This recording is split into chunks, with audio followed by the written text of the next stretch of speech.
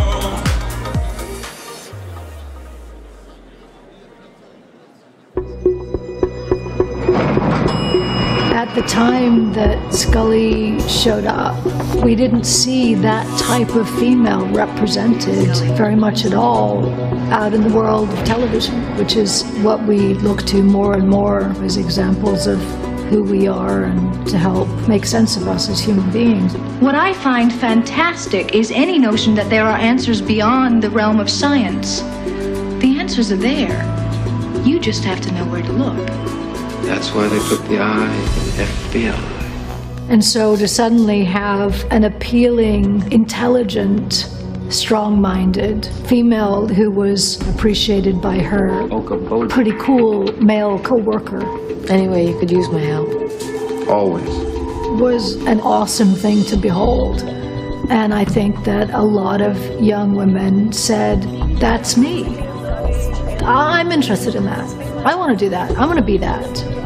I've met a lot of women in law enforcement. I've met FBI agents, I've met doctors in Comic Con situations. I know that the character of Dana Scully was a physics major and inspired me to major in physics and go through and get my PhD. And thank you.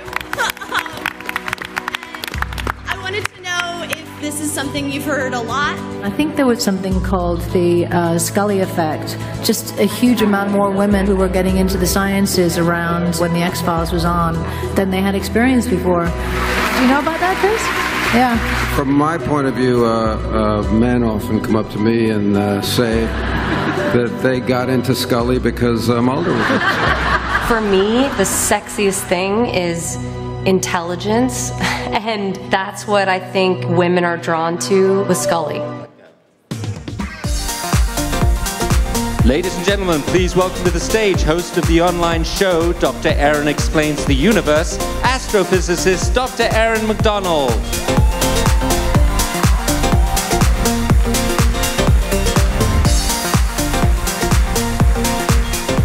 Hey everyone, how's it going? Yeah, good day? All right. So thank you so much for attending this session and thank you to AT&T for inviting me to lead this conversation about something that I am super passionate about. So do we have fans of the X-Files? Sound, sounded like we did. uh, yeah, that's great. No, many of us have said that the character Dana Scully inspired us to go into a STEM career because Scully demonstrated that it was possible to be a scientist and an awesome one at that. so this phenomenon is known as the Scully effect. Um, my own story, because some of you are probably wondering who I am and why I'm here, which is fine.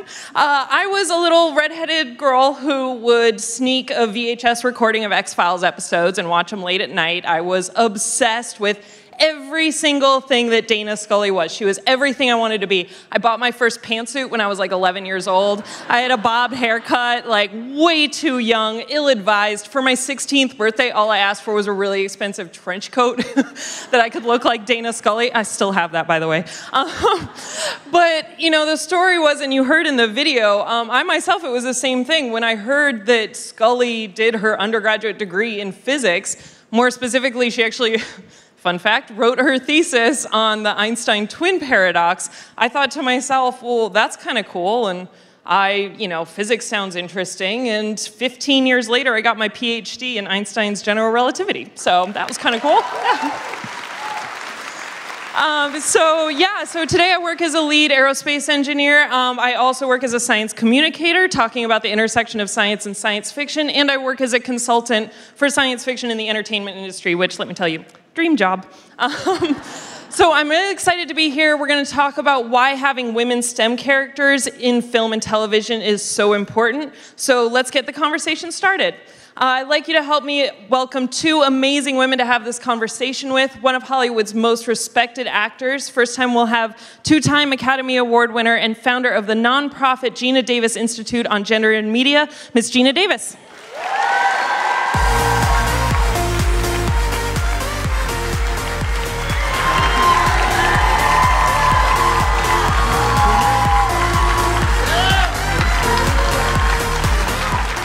And next up, we have acclaimed author, doctor of neuroscience, and star on the hit series The Big Bang Theory as Dr. Amy Farrah Fowler, Dr. Mayim Bialik.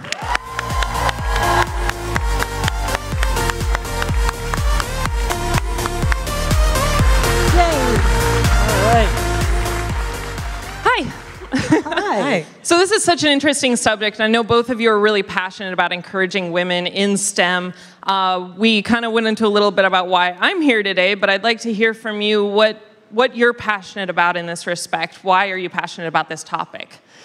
Uh, you want me to go first? Sure. Okay, good. All right. Uh, well, so uh, I became passionate about how women are portrayed on screen when my daughter was two, and I realized that far more of the characters in, in shows and movies made for kids were male than female. It was a huge imbalance, which I totally didn't expect.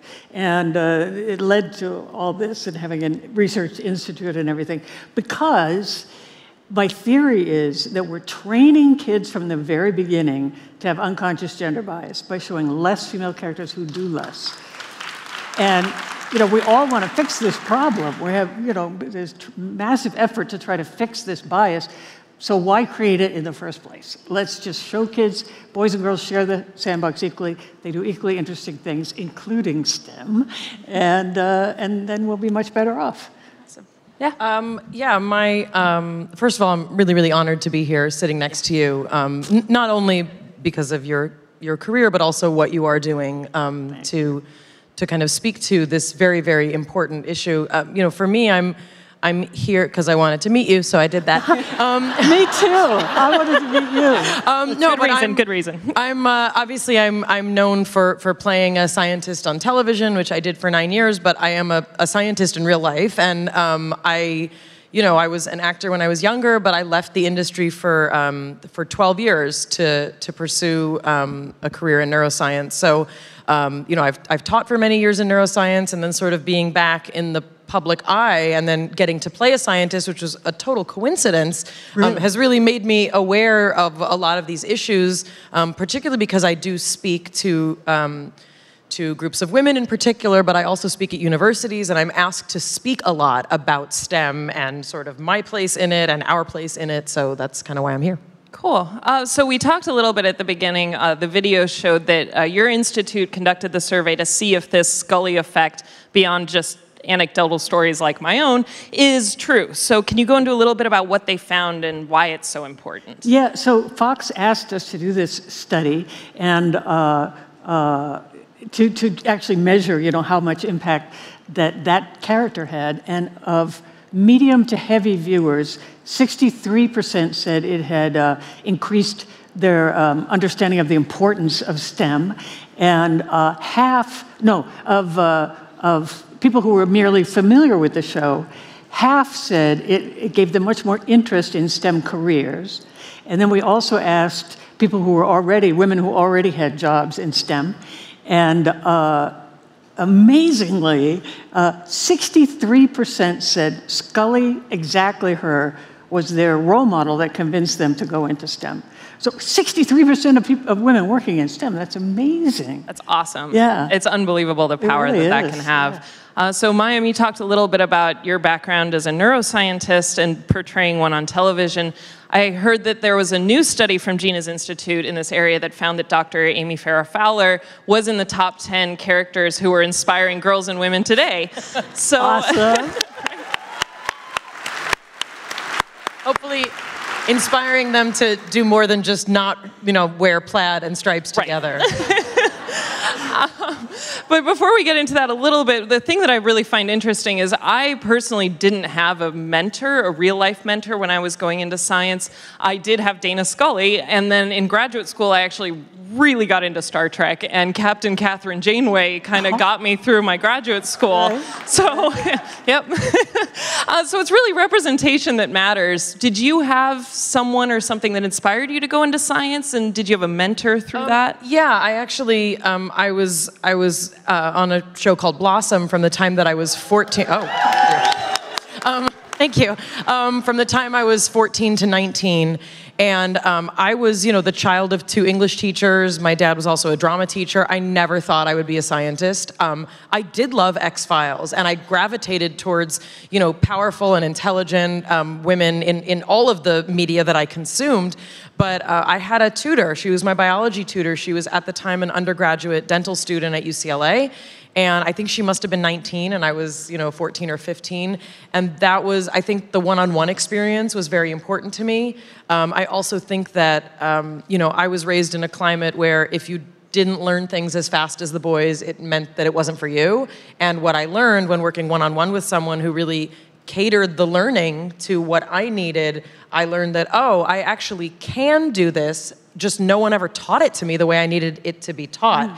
And I think that that was a huge shift for me. I think also, you know, to have a mentor, to have someone that you can see is living the life of a scientist and also, you know, has a social life, like all, all the things that, you know, the lone scientist in the laboratory stereotype doesn't give us. I think for women in particular, when we picture our lives and we picture what our social world's gonna be like, we want more than the lone scientist in the laboratory. You know, some of us do. Yeah, and I think that for me, yeah. Some people want to be alone in a laboratory. It's That's true. their prerogative. Yeah. For me, with Captain Janeway, one of the things that I found, and I think to some extent Scully too, but this was sort of later in my career and in my life and trying to figure out what I wanted. I found that the entertainment and the media actually helped me see a side of people that you wouldn't see as just being your teachers or your professors, that you get to see them struggle with faith and relationships and leadership and all of those things that are everyday that we have to deal with. And so that kind of helped me in terms of mentoring. And then I like what you were saying about having that right teacher, because I think that that is so important and something that we frequently at least when I go and speak at events, a lot of people come up to me and they say, you know, I wish I had gone into science. If I had a teacher like you, maybe I would have, you know. And it's always that one teacher that put people off of science, and that's heartbreaking. And so the more we can just inundate society with awesome, cool right. scientists. Well, it would also help if we paid teachers a wage that was, you know, yeah. that they deserve. No, it's, uh, yeah, true fact. I worked as an adjunct professor and I had to work at Starbucks so I could pay my bills. And it was awful. Yeah. Because, um, well, mostly it was just because I wanted to teach and I wanted to really dedicate my time to teaching.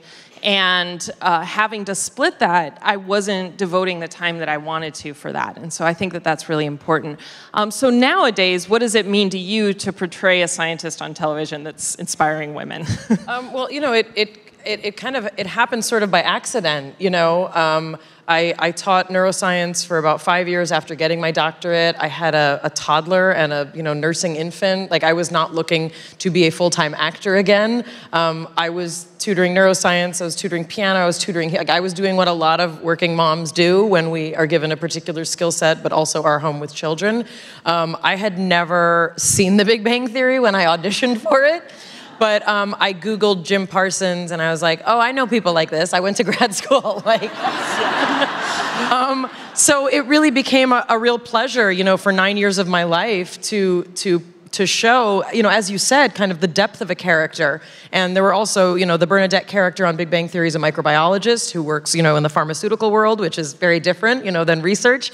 Um, but it really kind of turned out to be a lovely coincidence that we were showing, you know, the world a group of nerds and geeks, men and women, who had successful social lives and, and interesting career lives, and they weren't afraid to be interested in the things they were interested in. And our show was not big on diagnoses and medication. It was a show about a group of people just kind of being themselves in the science world. So um, that's kind of what my life and many of our lives are like. So it felt very natural to me. Yeah, we all know those people, but I'd really like to know what postdoc I can get that's 10 years long. So they're at we, that we university were long timeless. You know, time. on Yeah. sitcom, you can be timeless. You know, it's so great that they're showing characters who have lives because one of our other studies found that uh, of well, there's far less women in STEM on screen than men, and of the women, 40 something like 46 percent have uh, no personal lives. they're shown as being miserable and alone. well, the we are miserable and alone, but we do have a life. So Yeah, you know. exactly. That's interesting. I'd like to explore that kind of more. Were there other things that they found in that in that aspect? Because I imagine that has an effect on how people portray scientists right, in general. Right. Uh, also, of the of the women that were in STEM, by far the most represented was in the medical field, and for men, that's that's the opposite. And uh, uh, let me think, what else? Um, oh, the, one good thing was that uh, men and women in STEM were shown to be equally competent at their job. So it wasn't like, oh, the women don't know how to do it. It was, yeah. Right. It is interesting because I think that when they do take the time to have female STEM characters, they aren't portrayed as incompetent. They, they are good at their job. And I do think, I think anecdotally, we're starting to see more too that there tends, there's starting to be more parity in the biology and medicine field than in the physics world. And I'm sure that that has something to do with it as Yes, well, for sure.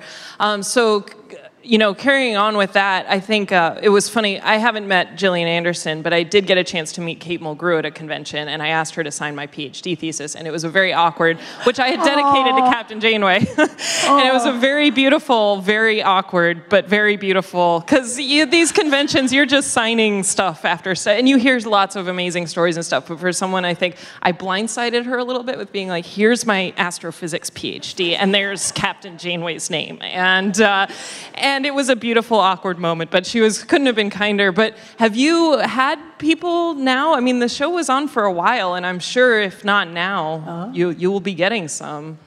Yeah, I mean, we, we definitely, you know, The Big Bang Theory was on for 12 years. I was on for the last nine.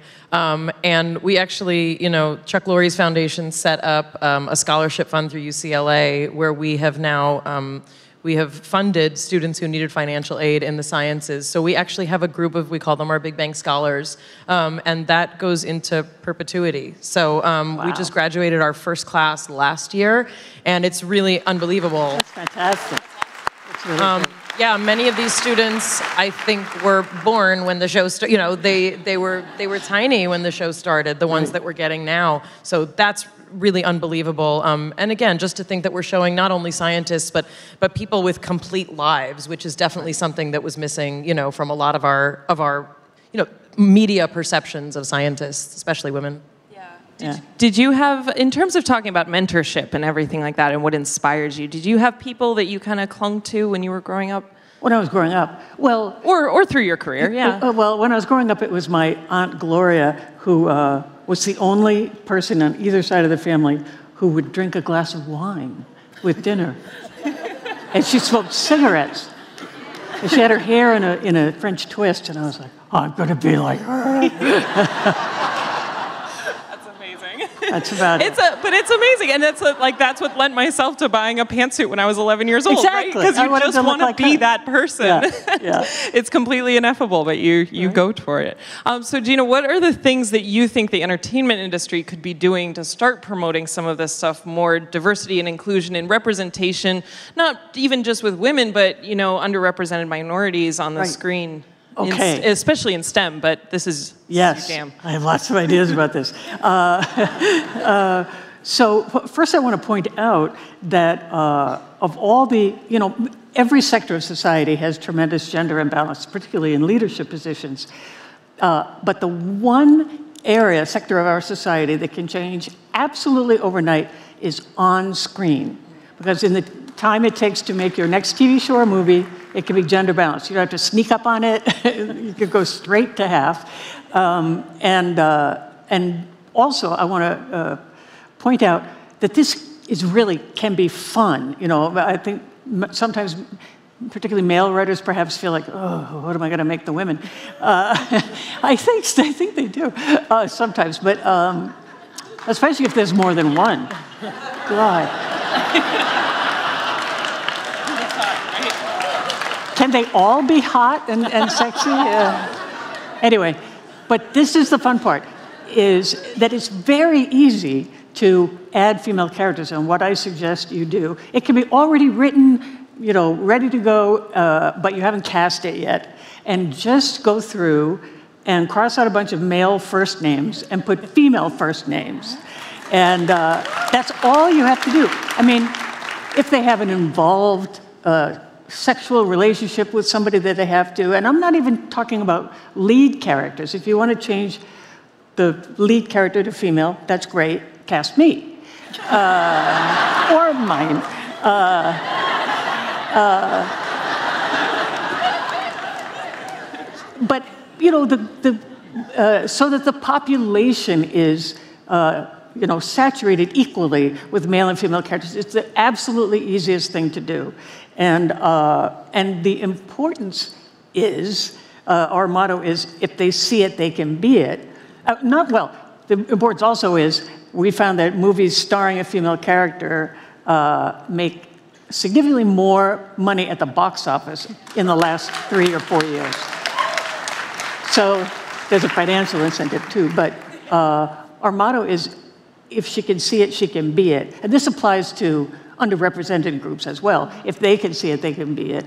Uh, you have to see it on screen, you know, and so, um, and then you realize, oh, you know, like, like you guys were saying, oh, I could be that, and then you actually become that. Mm-hmm. Yeah, yeah, absolutely. Right. And it is amazing. It is those little changes that do that really don't and I what I think is interesting from a writer standpoint and some of the writers I work with, you know, you grow the characters especially as you have the actors over the years, the stories evolve and the and the actors help drive some of that. Mm-hmm. And if, you know, I think a lot of writers would be surprised what they get out of their own stories if they change the gender. They'd they'd realize yes. avenues they hadn't thought of. Well, suddenly they're not um, stereotyped because if you wrote it for a man and a woman's playing it, it you know, that should work out. Uh, you know, I'll tell you a funny example of the impact of on screen characters since we're talking about that. Um, uh, I used to shoot archery quite a, quite a lot, and my coach, thank you.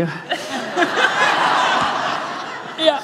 Uh, my coach called a couple of years ago and said he was looking at the graphs for participation in competitive archery, and it was always men, boys, women, and girls at the bottom. And suddenly in 2012, the girls' line shot straight up to be the most populated category of archery. And so, what happened in, in 2012? Hunger Games and Brave, the animated movie with a female archer, both came out that summer, and girls left the movie and bought a bow. It was. You, you cannot attribute it to anything else. It went like a rocket up. So, I mean, if that's how impactful it is, it, it, it's for everything. And we're robbing I think the most fun part of seeing a movie is identifying with a character. Yeah. And if we're not showing women that we can identify with, we're robbing them of the most important aspect of seeing a movie. It is, and I think that that's what feels so empowering, especially when we've seen some of these superhero movies and all these that are led by women in the action movies. I mean, I have just been in, you know, recent movies that have come out openly weeping when I yes. see a woman yes. just kicking butt on the yes. screen. I'm like, yes, I want to do that. I could do that too. Um, and it feels good, and you you feel empowered when you leave there, and that's that's so important. So, kind of speaking about these characters, you know, uh, speaking of other like female characters that have stood out in STEM and television and movies. Uh, Hidden Figures, I think, was a big sort of social. a social revolution, but I hate to kind of lump that in the category because those were actual stories that were overlooked for so long. And I'm so glad they started telling the stories and that it was the hit that it was because they overlooked the importance of that role. And, you know, when I was working at a museum, I met a woman who had worked at NASA before it was NASA, and she was working there when Sputnik was launched, and she had been working in her skirt, you know, underneath these electronics and computers, and everyone was rushing in. And if I had known that story when I was little, I would have just been even more empowered to go into science. Uh, another one that comes to mind for me particularly is Dr. Ellie Arroway from Contact. That I think for women, it was in the 90s, and so for women like me who were into Scully, Contact was another big film because she was an astrophysicist and she was searching for aliens. And I have a thing, for, yeah, aliens are awesome, um, just objectively awesome. And um, but she was a really big, powerful character for me when I when I got into astrophysics, guided there by Scully. My first research job was working at a radio telescope and late at night in a big Faraday cage and the huge blinking lights outside and punching a button and hearing the whole thing go like ka and start, you know, turning to observe the skies, my first thought was, I'm Dr. Arroway. Like, I made it. I, am I'm, I'm her now. And so, are there any characters that have stood out for you beyond kind of what we've talked about already? Um, I mean, I, I, you know, I, I would piggyback on the notion of hidden figures. Um, because I, I think in particular, you know, obviously, yes, those are true stories, but it is it is in a, a dramatic, you know, presentation form. But um, I think the the special attention to women of color is really, really something that needs to be highlighted. And um, you know, I, I, saw that movie actually a couple times. I took my boys to see it. Um, my boys are 13 and 10, so, you know, it was a, a year or so ago. Um, and it became a really, really interesting, complicated conversation, not only about women being marginalized, but about people of color and women of color in particular. So I think that that, that movie really sat with me also because you cannot believe that this is a true story. How could we not know? No, right. Why would we not know? Why wouldn't that be why the story was told first and foremost when you're learning anything about space or science? Right. So I think right, that right. that really sat with me in particular because of that injustice, you know. Right. Uh, well, you know, the kids have Doc McStuffins, and uh, so many young girls, you know, and girls of color see that and, and realize they want. There was this great photo, I don't, don't know if you saw it, of uh, women doctors uh, of color who all got together and, and they said, We are Doc McStuffins. It was so cool.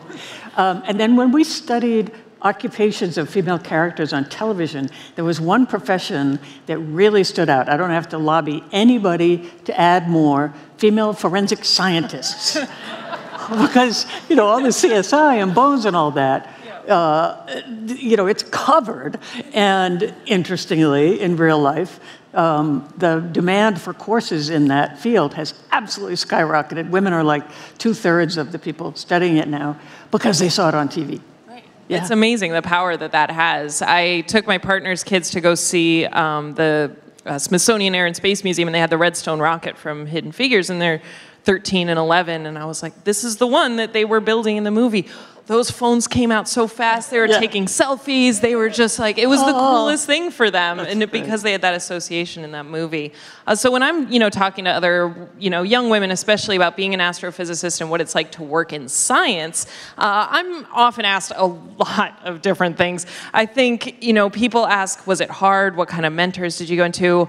Uh, for me, I think because so many people say that it's what they wanted to get into but they couldn't, it usually comes down to math. And so I usually try to, and I, I say this for everyone, especially if you have kids or, or you know kids who are going through this, math is so frequently taught wrong that it should be taught like a language and where you can see the bigger picture. You would drop out of your language classes so fast if all you did for the first five years was conjugate verbs. Like you'd be out of there. You want it, you're learning the language so you can converse and so you can use it. And math is the same way. You use it like a it's a tool. And it wasn't until I was in college and I saw the pieces coming together and solving really cool problems with these equations that I had the foundation from for years and years and years that I actually went and just got a, signed up for a double major in math because it was so cool. And I think that's something that we overlook so much. Um, so that's just kind of my personal view on getting when people ask about getting into science and especially young women um, i also think that mentorship is really important and i didn't have that but i had my fictional characters and it, learning to embrace that and not be ashamed of that was a big step for me so i don't know what do you have any advice that you'd like to give for uh, no pressure yeah, yeah. no pressure. uh, you know uh, you have given great advice um, I would say, you know, we don't have enough real life role models, and you touched on this earlier, to inspire girls and women to, to want to be like that. And so we, we must have them in fiction uh, to make sure that everybody's getting that message. We have to saturate our entertainment with, uh, with you know, ideals that girls can aspire to and, and increase their ambition. Uh, but you know, I, I would also say that if you were interested in that, maybe there's a way to find a real life role model. Find somebody, maybe your parents can help you research it, find uh, someone that's in a field that you like and, and try to meet them or go to, you know, talks and uh, something like this and see if you can uh, uh get more inspiration from that. Yeah, because um, you said you give a lot of talks as well. Yeah, well, yeah. I, would like to echo the significance of mentorship. You know, I'm I'm asked so much. You know, how do we get more girls involved in STEM? And I think that that's that's sort of one of the challenges is you can't just be like here's a skill set go pick a career. It's more complicated than that. You have to be able to picture it. You have to be able to know what life is like. And that's i was actually at a dinner last night and there was a, a, couple friends of mine and they all have teenage girls and um, my boys were bored but you know it's okay. Um, no but the one of the girls is in her first year of college. One just graduated high school. They're both interested in science and they were asking you know what's it like? What's a PhD program like? And what was it like for you? And then the question started about, well, when did you have kids? And while not every woman chooses to be a parent um, or physically birth children, um, this is also, I think, a huge missing component of our communication with with young women in particular is trying to understand what life looks like when you choose to work in the STEM fields and that there are certain aspects of the STEM careers that do make it harder to physically leave to take time off but there are a lot of careers in STEM that are much more flexible if you do choose to be a parent. And I think the fact that we're kind of you know, we're putting so much emphasis on, you know, the skill set and the confidence, super important, but also painting the picture, whether it be through mentorship or through the, the images we see in the media, and I think Scully's a great example. You're seeing the full, the full complicated, amazing woman living life as a scientist. Right. That's what I needed as a young girl that wasn't there for me. Right. Absolutely. It's interesting because I, I worked on some studies when I went was in graduate school in the UK. They were putting a big effort too on not just getting women into science and underrepresented groups, but just how to stay in science. And it's a term I'm not a huge fan of, but I think it visualizes it very well for people called the leaky pipeline, where people get in and then they drop off and they continue to drop. And so you, you try it, you get like 50-50 enrollment in STEM programs when you know kids are young, and that's great if you're able to achieve that. But then the numbers drop. And we did a study where we were asking people in their PhDs, why would you, why are you thinking of leaving? Why would you leave academia? Why would you stay in academia? Because it's hard and it's stressful. It's, it's hard and stressful and so much work. um, but a lot of it is, you know, we got the same answers from the men and women. It's just when you have two or three women in a group of 20 to start with, if two men and two women leave for the exact same reason, whether it's wanting to start a family or just there's a two body problem in academia where you get jobs different places and so how to stay in your field together i think that's really difficult how so um, kind of going along those lines I really struggled leaving academia. I, it broke my heart because we don't pay teachers enough. Mm. And it really broke my heart because I thought that I was cutting myself off from being able to be a mentor that I hadn't had. Um, so I'd like to kind of ask you when you, how, what was your thought process leaving academia? Did you oh, struggle with that too? Yeah, I mean, you know, and this is I mean, it, it's the subject of you know a whole other universe of contemplation and conversation. Um, you know, I, I didn't, there weren't a lot of women in my field that I could look to to ask, like, what do I do? How do I do this? So, um, you know, I, and this was also the subject of conversation at dinner last night, I made a very, very painful decision to not do a postdoc um, because I had a toddler and I had an infant on the way. And, um, you know, for many of us, our most fertile physiological years are also our most fertile career years. And it's very, very difficult, um, you know, to figure that out. There's no right way to do it. I didn't do it the right way. I did what I thought was best at the time. Um, but I knew that when I left, I would never get a tenure track position again. I, it, it would never happen. And, you know, indeed, my life changed. And, you know, I, I made the decision because it was what was right for my family, but there are many people who do it differently, and that can be right for their family. Um, but you're absolutely right. I mean, I taught, I think in my class of neuroscience grad students, I think I taught the most, I love teaching and TAing. Like, that was my thing. So, um, I mean, first of all, I'd like to, to acknowledge what what amazing power and clout you do have in what you do. And I think also, you know, being a science communicator in a different way outside of academia is different. And I have to like wear hair and makeup when I do it and heels, whereas I used to do it in pajama pants, and that was considered totally fine. Um, but I think, you know, it, it is a loss, and it's something also that I think is important to communicate when we talk to, to young women and to young men as well, that you know, those of us who were raised to believe like you can do anything. It's I said my mother was wrong. I figured it out. I cannot do you know you cannot be in all the places you want to be at once. And that reality and and coming to terms with that reality even as you start to think in high school, that's important because it makes all of your the decisions that you make well informed. And you're not just kind of going blindly like I'm going to do everything, I'm going to be great and then realize 5 years later, "Oh wait, this isn't practically how it works." Um, you know, I'd like to kind of pull on that a little bit in terms of the mentorship and how you reach out to people because we have social media now. And that, I think, allows a lot of young people to interact with scientists and allows us to share our lives and make that more of a reality.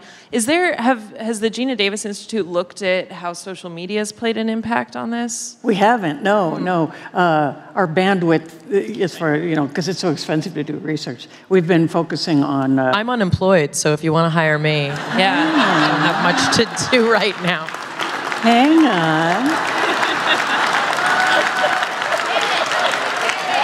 And now it's become a job interview, so well done. if you'd like to volunteer to work here. Uh, now I forget what I was saying. You were saying the bandwidth for social media research. Yeah. Social media, yes. Yeah. Okay.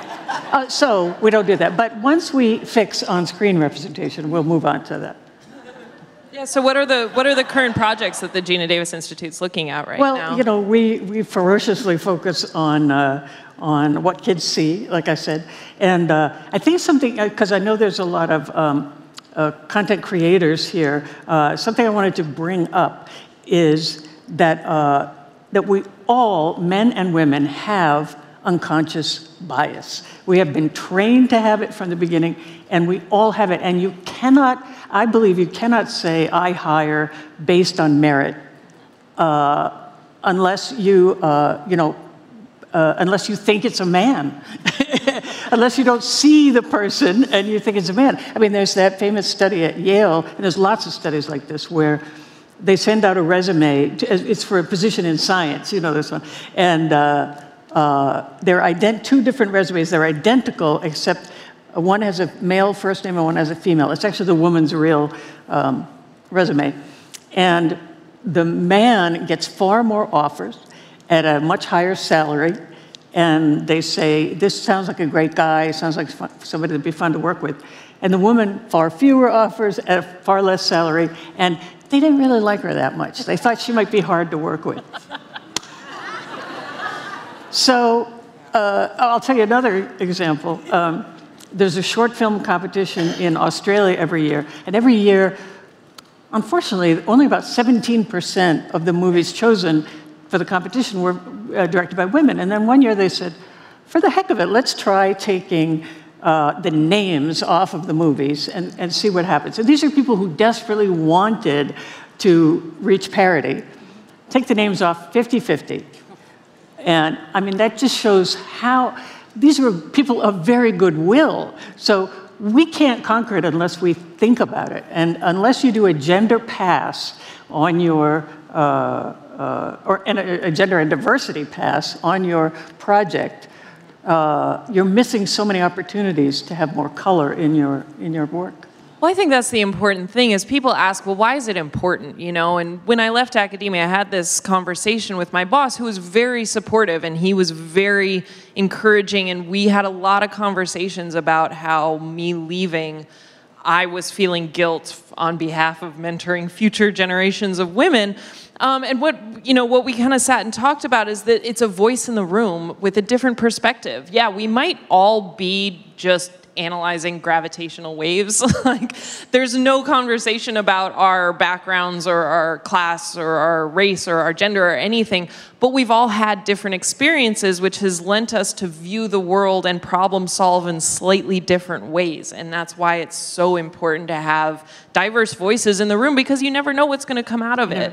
right. And when you have a lot of people with the same background and the same story, you're just not going to have as creative as a thought process. So I think it's it's really important. Thanks. Um, so, kind of in the last few minutes, I think there are some young groups of. Is there Girl Scouts or girls who code over there? Yeah. Hi. Hi, Girl Scouts. um, so, in terms of kind of any words of final advice you'd like to give, I think we've, like you said, we've given a lot for for you to think about. But for me, my hardest thing because science is hard and a lot of work, and we threw out the before I carry on, we threw out the term postdoc. For those of you who aren't familiar from the academic world, when you finish your PhD, you're not going right to become. It's not professor. enough to get a PhD no. anymore. No. Oh you work more. You get like two or three year contracts. It varies by field. Some can be as much as four or five, but they're short contracts and they are at different universities. And you go and continue your research. Then you do another one. Then you do another one. Then you do another one. And sometimes it can go 10, 15 years before you get a permanent position at a university. So when you talk about people who are wanting to leave and wanting to you know, settle down and even just have a partner that you don't have to live apart from. This is kind of, we threw that term out, so I apologize for not explaining that, but it's tough in the academic yeah. world, and I think wow. that's, that's why a lot of people leave. Um, so, kind of just talking about how to stay in it, what keeps you excited, you know, these girls who code that are here, what would keep you going into it? I really think it's about finding your inspiration, about what made you want to go into it, and not being ashamed of that. You know, for me, it was Dana Scully and a lot of ill fitting haircuts, which is fine. I've embraced the pictures, but you'll never see them. Um, but I went back to Dana Scully a lot when it was hard. College is hard, and you were wanting to fail a lot. And but I knew I wanted to be a physicist, and those last few things that just kept me going were thinking about if I want to be Dana Scully, if I want to be Captain Janeway, I have to finish this degree. so logically, that makes perfect sense. Um, but but remembering those inspirations and what you cling to through your career, and I don't know if as you've gone through your careers, any advice that you've found that you've um, been able to share. I mean, yeah, I think that um, I think there are so many bumps, you know, to, you know, in particular to pursuing, um, you know, an undergraduate degree or, or a, a higher level degree um, in, in our field, especially because the field changes so quickly and so much of it is dependent on staying on top of research and going to conferences and like all that kind of stuff. Um, you know, I, I like to share the, the challenges of my journey as well as, you know, the great things that have happened. You know, I originally, I wanted to go to medical school. Um, I was originally interested in psychiatry and, um, you know, it's not an attractive thing to share that I didn't have the grades to go to, to medical school. And it was not for lack of studying, it was not for lack of passion, it was not for lack of wanting it so badly and crying into my pillow many nights my first several years in, in college. Um, but I think part of kind of also seizing our real power as women in particular is really understanding our limitations and also how to jump those hurdles so that we can still persevere and have a life that can still be um, rich and creative and exciting. So it would have been very easy for me to say, like, I don't have the grades to get into medical school. I'm gonna, you know, make my minor my major. I minored in Hebrew and Jewish studies, you know, the humanities, and um, it would have been very easy. But instead, I said, you know what? I'm going to get creative. I'm good at this. It means something to me. I may not be as good as all of those other students, but there are still things of value that I can share in this world. And I think also the notion that no matter what you do, whether you decide to be a stay at home parent, whether you decide to teach the kindergarten, whether you go on to do six postdocs and, you know, go work for NIH, you know, the, the way that we view world when we are trained as scientists, nothing can match that. And for me, that's the level of understanding that I want to function at when I'm in the supermarket, when I'm in a laboratory, when I'm on set, when I'm raising children. That knowledge never leaves you. And you see the world as a scientist no matter what you do with it. And that's really what kept me going. That's how I wanted to see the world. That's fantastic. Wow.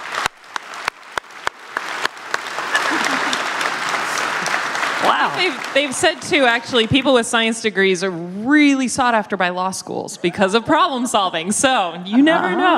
know. Um, any last words you'd like to share? Uh, yes, don't go into the entertainment industry.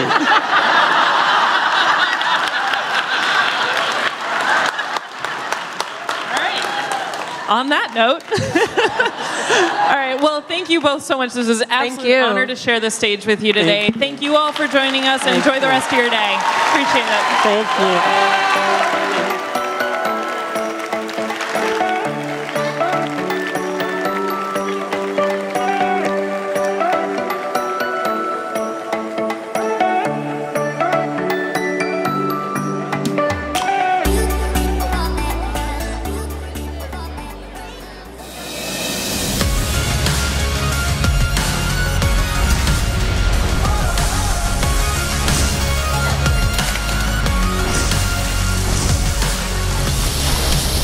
Keep pushing us on our goals and telling us, no, you can aim even higher.